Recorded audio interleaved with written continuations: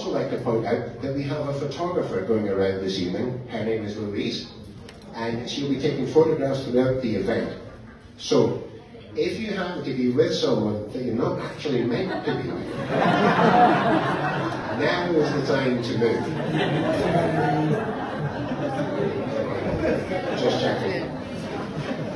But if you don't want your photograph taken, if you're shy or bashful or you're, you're meant to be at work and the boss might see, please let Becky and Louise know.